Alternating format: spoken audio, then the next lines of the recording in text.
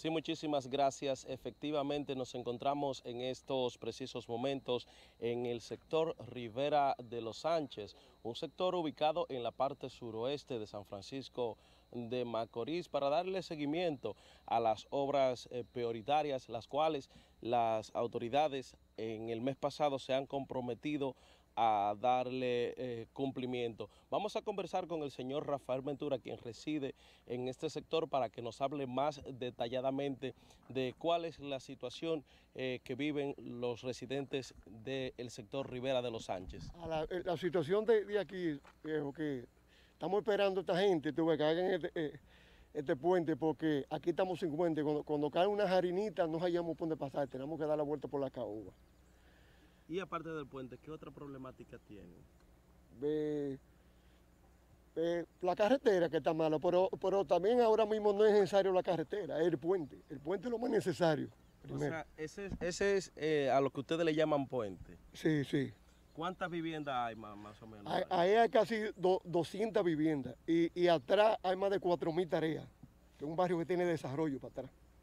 Y se, hasta, se, sale a Astillo, se sale a la caoba. Hasta el momento, ¿qué, ¿qué, ¿qué, le han dicho las autoridades? No, ellos, ellos han dicho que, que iban a venir entonces un par de meses a trabajar para acá y todavía no ha venido. Tenemos aquí casi más de 10 años esperando esto. ¿Se han accidentado personas? Sí, se ha caído gente en motores, sí. se ha rompido pies, muchísimas cosas se ha hecho.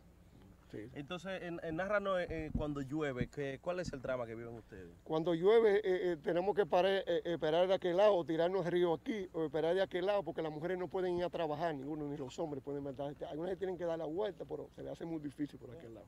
Entonces, me dice cuántas cuántas personas más o menos viven aquí en, en este sector. Eh, vive mucho, vive más de 200 personas.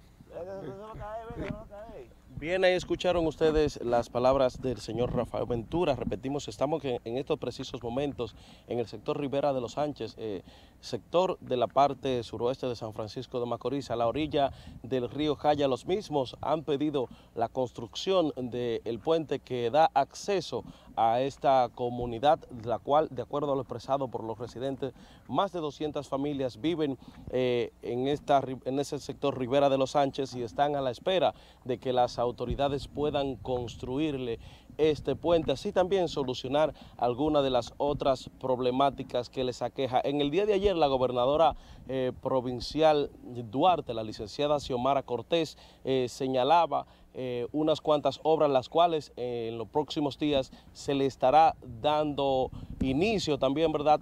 También se, eh, se culminarán aquellas obras que ya están iniciadas de acuerdo a las palabras de la gobernadora. Sin embargo, los residentes de esta comunidad se encuentran a la espera de ver realizado su sueño, que es la construcción y la carretera de este sector.